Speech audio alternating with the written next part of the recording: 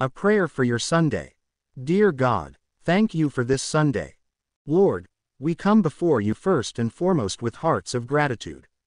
You have seen us through another week, and we stand at the threshold of a fresh week, full of new beginnings. Lord, help us start this bright embarking with you. Stir in us a deep desire to come into further relationship with you. Remind us that it is not solely by going to Sunday service that we worship and come before you. Rather, it is through the daily communion with you through relationship and prayer. Highlight to us how we may be obedient to your call and heart.